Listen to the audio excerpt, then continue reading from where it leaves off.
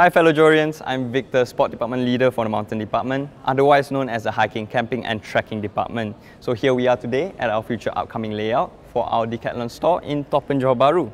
So aside from our very first venture into Johor Bahru City, I absolutely cannot wait to show you our largest camping showroom yet in Malaysia, here in Toppen, Johor Bahru.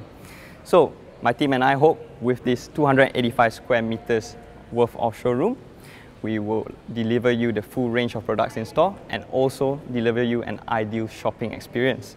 So see you here at our grand opening on this upcoming January 2023.